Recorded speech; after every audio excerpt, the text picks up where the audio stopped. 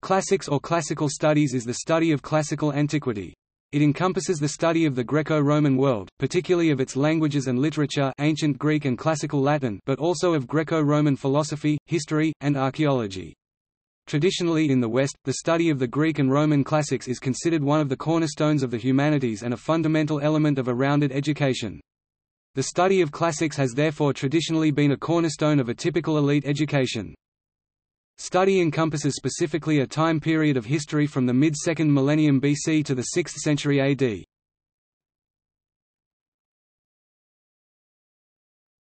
Topic: Etymology. The word classics is derived from the Latin adjective classicus, meaning belonging to the highest class of citizens. The word was originally used to describe the members of the highest class in ancient Rome. By the 2nd century AD the word was used in literary criticism to describe writers of the highest quality. For example, Aulus Gellius, in his Attic Nights, contrasts «classicus» and «proletarius» writers. By the 6th century AD, the word had acquired a second meaning, referring to pupils at a school. Thus the two modern meanings of the word, referring both to literature considered to be of the highest quality, and to the standard texts used as part of a curriculum, both derive from Roman use.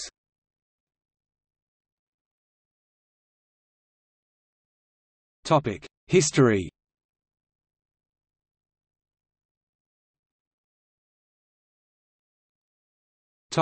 Middle Ages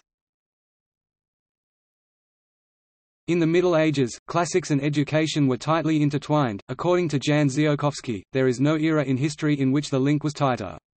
Medieval education taught students to imitate earlier classical models, and Latin continued to be the language of scholarship and culture, despite the increasing difference between literary Latin and the vernacular languages of Europe during the period. While Latin was hugely influential, however, Greek was barely studied, and Greek literature survived almost solely in Latin translation. The works of even major Greek authors such as Hesiod, whose names continued to be known by educated Europeans, were unavailable in the Middle Ages. In the 13th century, the English philosopher Roger Bacon wrote that, "...there are not four men in Latin Christendom who are acquainted with the Greek, Hebrew, and Arabic grammars." Along with the unavailability of Greek authors, there were other differences between the classical canon known today and the works valued in the Middle Ages. Catullus, for instance, was almost entirely unknown in the medieval period. The popularity of different authors also waxed and waned throughout the period. Lucretius, popular during the Carolingian period, was barely read in the 12th century, while for Quintilian the reverse is true.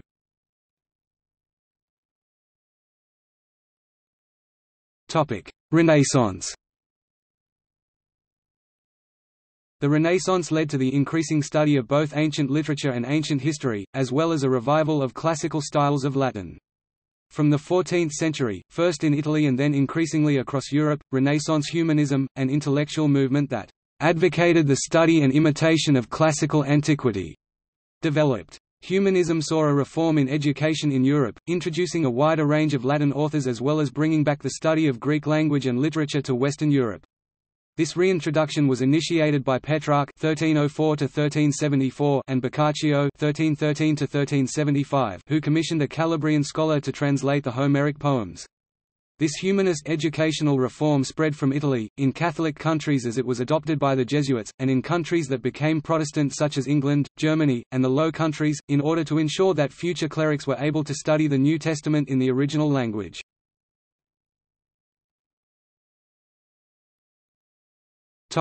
Neoclassicism. The late 17th and 18th centuries are the period in Western European literary history which is most associated with the classical tradition, as writers consciously adapted classical models. Classical models were so highly prized that the plays of William Shakespeare were rewritten along neoclassical lines, and these improved Versions were performed throughout the 18th century. From the beginning of the 18th century, the study of Greek became increasingly important relative to that of Latin. In this period Johann Winckelmann's claims for the superiority of the Greek visual arts influenced a shift in aesthetic judgments, while in the literary sphere, G.E. Lessing returned Homer to the center of artistic achievement. In the United Kingdom, the study of Greek in schools began in the late 18th century. The poet Walter Savage Landor claimed to have been one of the first English schoolboys to write in Greek during his time at Rugby School.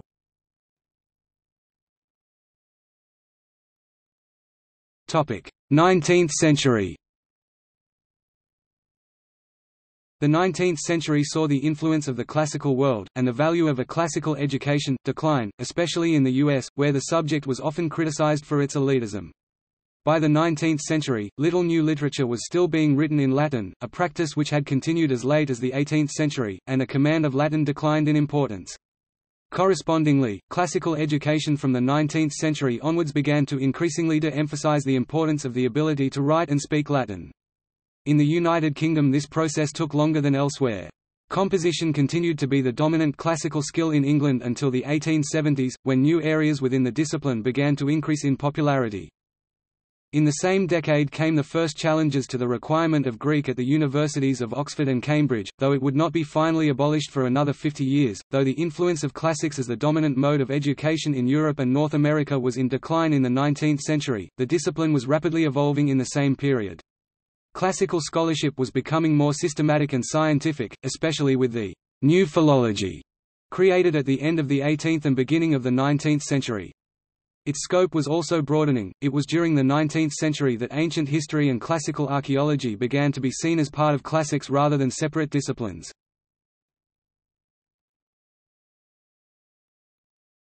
Topic: 20th century to present. During the 20th century, the study of classics became less common. In England, for instance, Oxford and Cambridge universities stopped requiring students to have qualifications in Greek in 1920, and in Latin at the end of the 1950s. When the national curriculum was introduced in England, Wales, and Northern Ireland in 1988, it did not mention the classics. By 2003, only about 10% of state schools in Britain offered any classical subjects to their students at all. In 2016, AQA, the largest exam board for A-levels and GCSEs in England, Wales and Northern Ireland, announced that it would be scrapping A-level subjects in classical civilization, archaeology, and art history. This left just one out of five exam boards in England which still offered classical civilization as a subject. The decision was immediately denounced by archaeologists and historians, with Natalie Haynes of The Guardian stating that the loss of the A-level would deprive state school students, 93% of all students, the opportunity to study classics while making it once again the exclusive purview of wealthy private school students. However, the study of classics has not declined as fast elsewhere in Europe. In 2009, a review of Meeting the Challenge, a collection of conference papers about the teaching of Latin in Europe, noted that though there is opposition to the teaching of Latin in Italy, it is nonetheless still compulsory in most secondary schools. The same can be said in the case of France or Greece, too. Indeed, ancient Greek is one of the compulsory subjects in Greek secondary education, whereas in France, Latin is one of the optional subjects that can be chosen in a majority of middle schools and high schools. Ancient Greek is also still being taught, but not as much as Latin.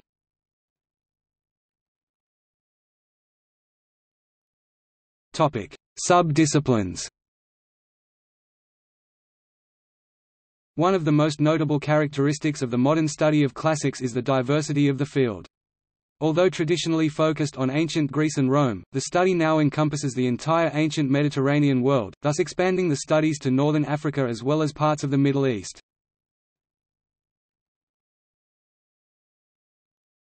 Topic: Philology.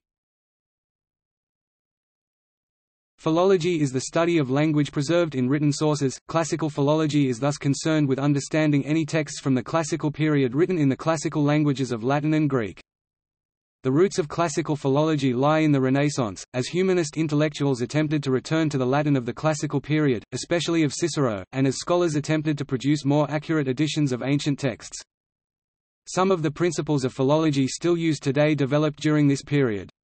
For instance, the observation that if a manuscript could be shown to be a copy of an earlier extant manuscript, then it provides no further evidence of the original text, was made as early as 1489 by Angelo Poliziano. Other philological tools took longer to be developed. The first statement, for instance, of the principle that a more difficult reading should be preferred over a simpler one, was in 1697 by Jean Leclerc. The modern discipline of classical philology began in Germany at the turn of the 19th century. It was during this period that scientific principles of philology began to be put together into a coherent whole, in order to provide a set of rules by which scholars could determine which manuscripts were most accurate. This new philology as it was known, centered around the construction of a genealogy of manuscripts, with which a hypothetical common ancestor, closer to the original text than any existing manuscript, could be reconstructed.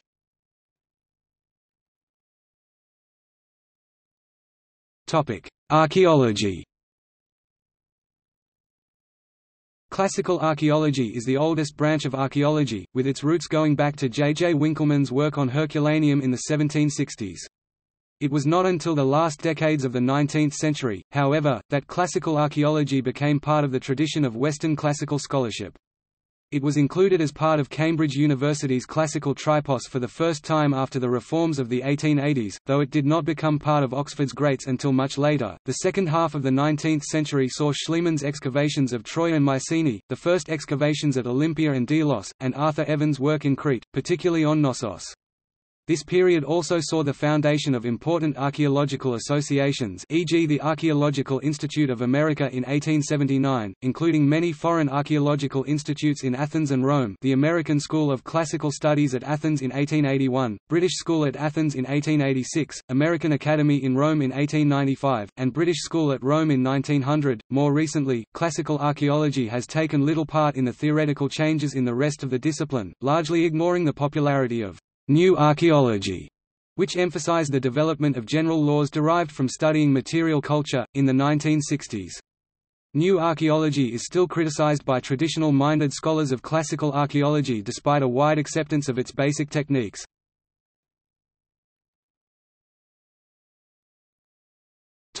Art history Some art historians focus their study on the development of art in the classical world. Indeed, the art and architecture of ancient Rome and Greece is very well regarded and remains at the heart of much of our art today. For example, ancient Greek architecture gave us the classical orders, Doric, Ionic, and Corinthian. The Parthenon is still the architectural symbol of the classical world. Greek sculpture is well known and we know the names of several ancient Greek artists, for example, Phidias.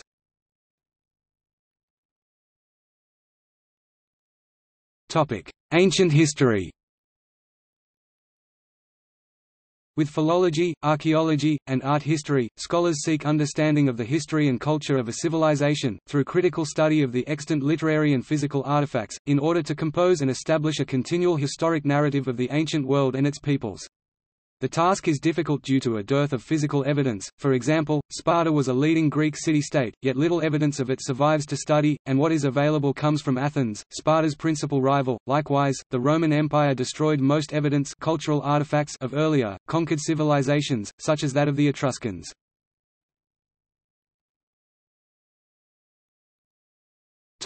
Philosophy The English word, philosophy comes from the Greek word philosophia, meaning, love of wisdom, probably coined by Pythagoras. Along with the word itself, the discipline of philosophy as we know it today has its roots in ancient Greek thought, and according to Martin West, "...philosophy as we understand it is a Greek creation." Ancient philosophy was traditionally divided into three branches, logic, physics, and ethics. However, not all of the works of ancient philosophers fit neatly into one of these three branches. For instance, Aristotle's rhetoric and poetics have been traditionally classified in the West as ethics, but in the Arabic world were grouped with logic. In reality, they do not fit neatly into either category. From the last decade of the 18th century, scholars of ancient philosophy began to study the discipline historically. Previously, works on ancient philosophy had been unconcerned with chronological sequence and with reconstructing the reasoning of ancient thinkers, with what Wolfgang Rainer Mann calls new philosophy. This changed.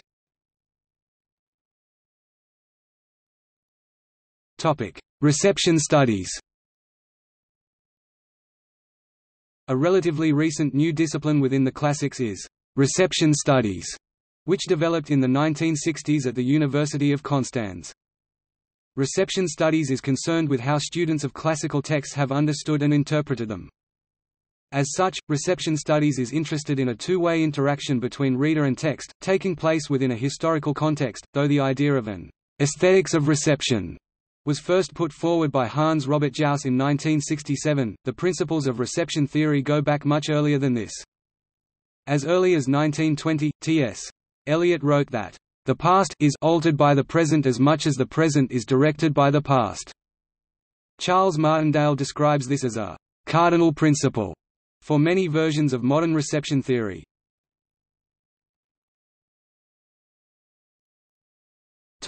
Classical Greece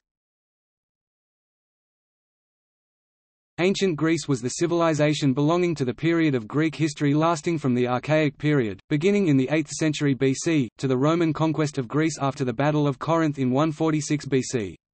The Classical period, during the 5th and 4th centuries BC, has traditionally been considered the height of Greek civilization. The Classical period of Greek history is generally considered to have begun with the First and Second Persian invasions of Greece at the start of the Greco-Persian Wars, and to have ended with the death of Alexander the Great. Classical Greek culture had a powerful influence on the Roman Empire, which carried a version of it to many parts of the Mediterranean region and Europe, thus Classical Greece is generally considered to be the seminal culture which provided the foundation of Western civilization.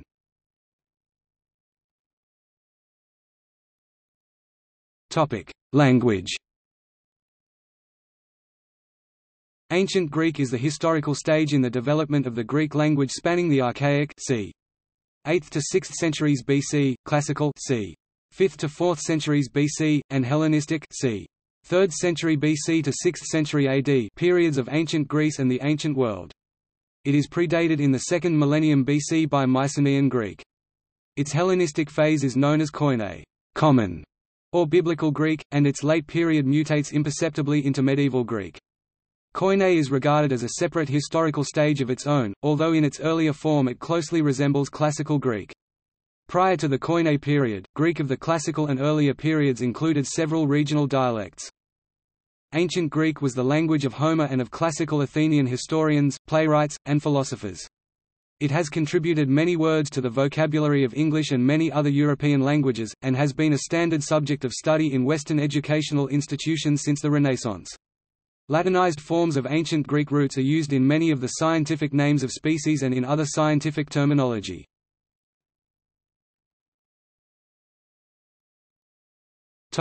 Literature The earliest surviving works of Greek literature are epic poetry.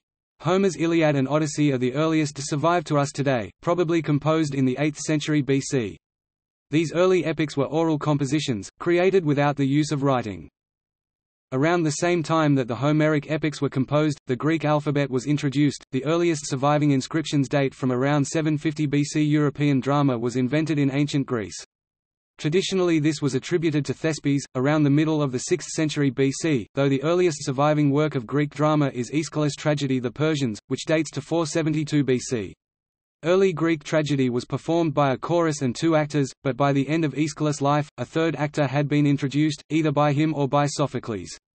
The last surviving Greek tragedies are the Bacchae of Euripides and Sophocles' Oedipus at Colonus, both from the end of the 5th century BC. Surviving Greek comedy begins later than tragedy. The earliest surviving work, Aristophanes' Acharnians, comes from 425 BC.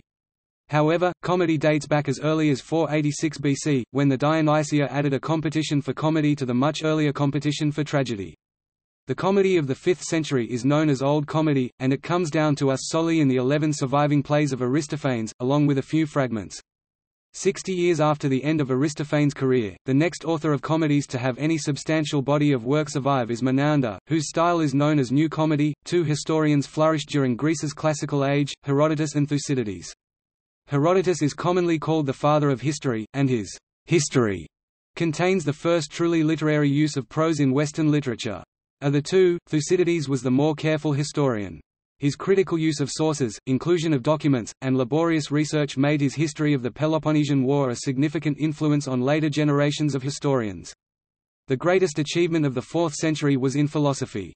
There were many Greek philosophers, but three names tower above the rest, Socrates, Plato, and Aristotle. These have had a profound influence on Western society.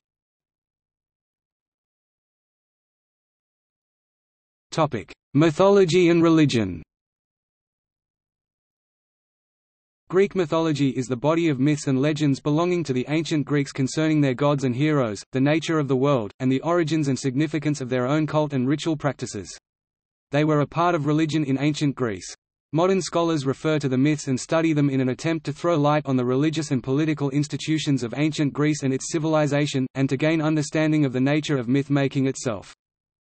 Greek religion encompassed the collection of beliefs and rituals practiced in ancient Greece in the form of both popular public religion and cult practices. These different groups varied enough for it to be possible to speak of Greek religions or cults in the plural, though most of them shared similarities. Also, the Greek religion extended out of Greece and out to neighboring islands. Many Greek people recognized the major gods and goddesses, Zeus, Poseidon, Hades, Apollo, Artemis, Aphrodite, Ares, Dionysus, Hephaestus, Athena, Hermes, Demeter, Hestia and Hera, though philosophies such as Stoicism and some forms of Platonism used language that seems to posit a transcendent single deity. Different cities often worshipped the same deities, sometimes with epithets that distinguished them and specified their local nature.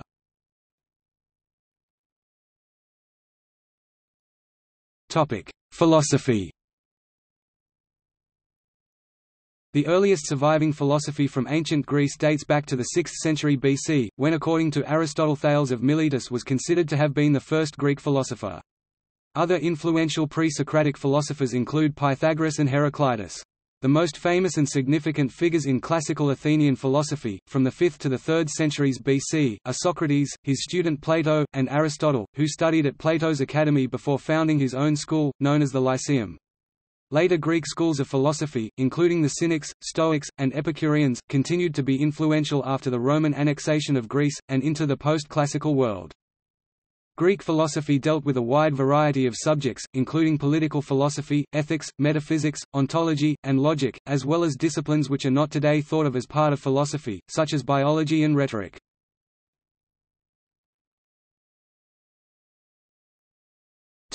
Classical Rome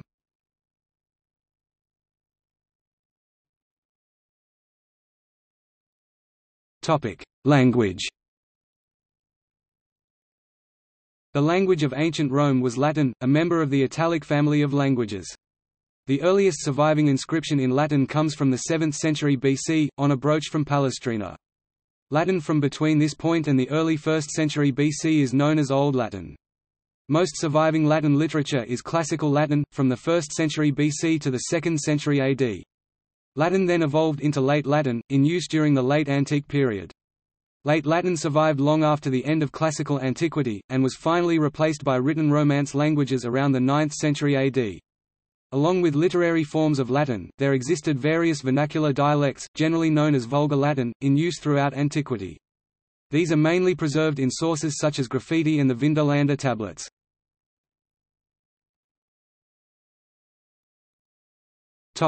Literature The earliest surviving Latin authors, writing in Old Latin, include the playwrights Plautus and Terence. Much of the best known and most highly thought of Latin literature comes from the classical period, with poets such as Virgil, Horace, and Ovid, historians such as Julius Caesar and Tacitus, orators such as Cicero, and philosophers such as Seneca the Younger and Lucretius. Late Latin authors include many Christian writers such as Lactantius, Tertullian and Ambrose. Non-Christian authors, such as the historian Ammianus Marcellinus, are also preserved.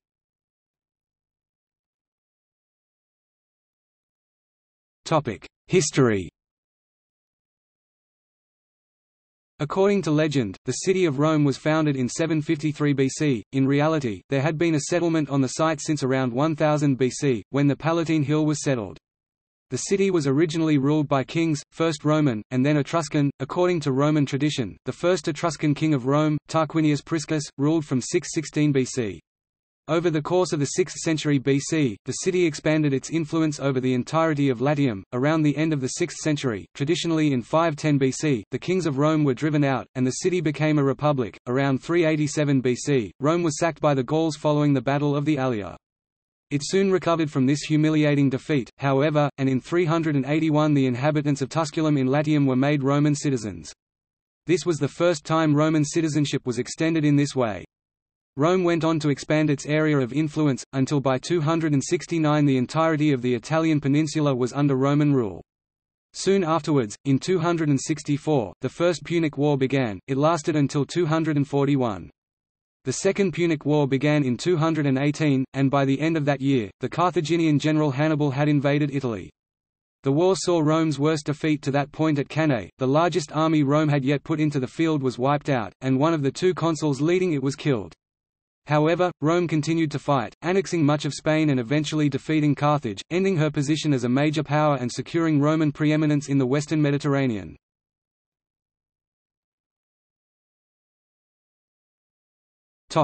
Legacy of the classical world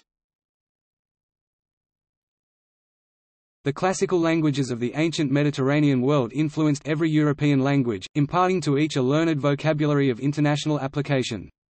Thus, Latin grew from a highly developed cultural product of the Golden and Silver eras of Latin literature to become the international lingua franca in matters diplomatic, scientific, philosophic and religious, until the 17th century. Long before this, Latin had evolved into the Romance languages and Ancient Greek into modern Greek and its dialects. In the specialized science and technology vocabularies, the influence of Latin and Greek is notable. Ecclesiastical Latin, the Roman Catholic Church's official language, remains a living legacy of the classical world in the contemporary world. Latin had an impact far beyond the classical world. It continued to be the preeminent language for serious writings in Europe long after the fall of the Roman Empire. The modern Romance languages, such as French, Spanish, and Italian, all derive from Latin. Latin is still seen as a foundational aspect of European culture. The legacy of the classical world is not confined to the influence of classical languages. The Roman Empire was taken as a model by later European empires, such as the Spanish and British empires. Classical art has been taken as a model in later periods. Medieval Romanesque architecture and Enlightenment era neoclassical literature were both influenced by classical models. To take but two examples, while Joyce's Ulysses is one of the most influential works of 20th century literature.